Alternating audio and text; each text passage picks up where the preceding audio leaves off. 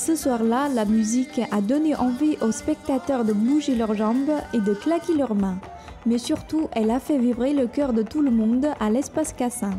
Cette année, pour célébrer la Saint-Patrick, l'association Cassin a proposé aux spectateurs du pays de Beach une soirée celtique festive. Comme depuis plus de six ans déjà, nous allons fêter la Saint-Patrick euh, comme tous les ans.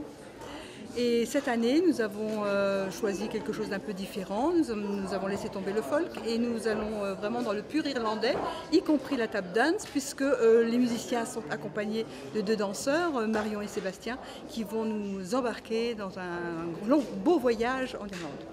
Fondé en 2004, le groupe de musiciens a commencé en duo de musique traditionnelle irlandaise appelé TOS.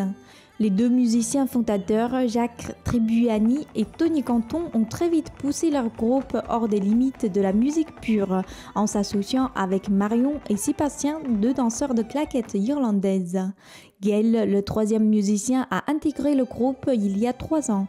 Ensemble, ils offrent au public un tableau sonore et visuel animé par des chorégraphies rythmées et aériennes.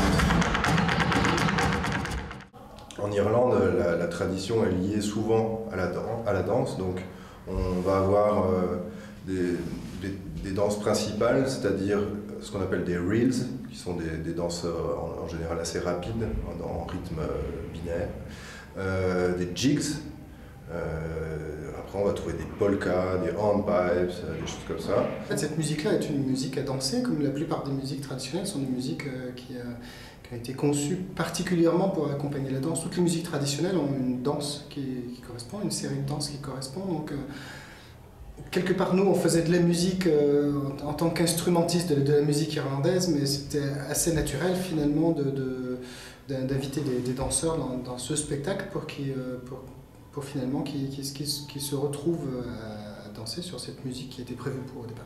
L'espace Cassin est en train de préparer une autre surprise pour les habitants du Pays de Beach, la pièce de théâtre de Molière, Le Tartuffe, à voir le 1er avril prochain.